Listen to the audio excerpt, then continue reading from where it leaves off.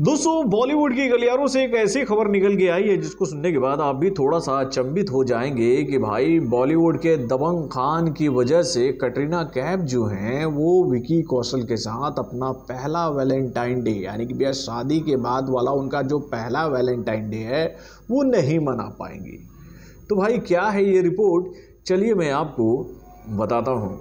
Hello friends मैं हूँ नरेंद्र और मैं आपके लिए देख रहा हूँ और एक खास रिपोर्ट जो कि जुड़ी हुई है। बॉलीवुड के सदी के रियल मेगा स्टार यानी कि तबंग खान, सलमान खान से और उसके साथ भैया बॉलीवुड की खूबसूरत अदाकाराओं में से एक, यानी कि कटरीना कैफ से।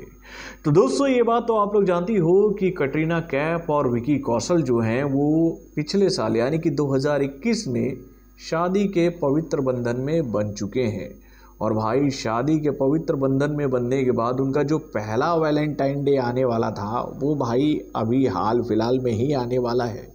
और भाई, इससे पहले कि वो अपने वैलेंटाइन डे की तैयारियाँ करते हैं कि भैया, वो कैसे इस वैलेंटाइन डे को सेलिब्रेट करते हैं कि उससे पहले ही इन दोनों के बीच में आ चुके हैं बॉलीवुड के दबंग खान। यानी कि भैया, दबंग खान की आने वाली much awaited film Tiger three को लेकर ये खबर सामने आई है कि भैया, इस फ़िल्म का जो आखिरी शेड्यूल है, वो बहुत जल्दी ही शुरू होने वाला है। यानी कि भैया, बहुत जल्दी ही टाइगर थ्री का काम कंप्लीट कर लेंगे दबंग खान, मनीष शर्मा के डायरेक्शन में। और भाई, उनके आखिरी शेड्यूल को पूरा करने के लिए इस फ़िल्म की जो पूरी यूनिट है, वो इन दिनों कमर कस चुकी है। यानी कि भैया, टाइगर थ्री को लेकर ये बहुत बड़ी खबर सामने आई है कि इस फ़िल्म का जो आखिरी शेड्यूल है, उससे दिल्ली के पुरानी दिल्ली में फिल्माया जाएगा। यानी कि भैया, वहाँ पर इस फ़िल्म के कुछ बेहतरीन एक्शन सीक्वेंस फिल्माए जाएँगे और उसके साथ में वहाँ पर और भी कई सारे सीन जो हैं, वो फिल्माए जाएँगे। यानी कि भैया, दिल्ली के लाल किले के पीछे बताया जा रहा है कि इस फ़िल्म का एक ज़बरदस्त एक्शन सीक्वेंस फिल्माया जाना है, जिसकी तैयारियाँ शुरू हो चुकी है।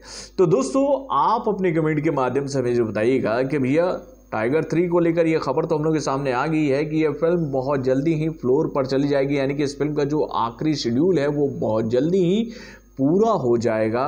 और उसके साथ ये खबर हम लोगों के सामने आ जाएगी कि भैया टाइगर थ्री का काम फाइनली कंप्लीट हो गया है। तो आप किस खबर को सुनकर ज़्यादा खुश हो रहे हो कि भैया टाइगर थ्री कंप्लीट होने जा रही है या फिर आप इस बात को लेकर दुखी हो कि भैया टाइगर थ्री की वजह से कटरीना कैफ, विकी कौशल के साथ अपना पहला वैलेंटाइन डे यानी भैया शादी के बाद वाला जो पहला वैलेंटाइन डे है, उसे नहीं मना पाएँगे।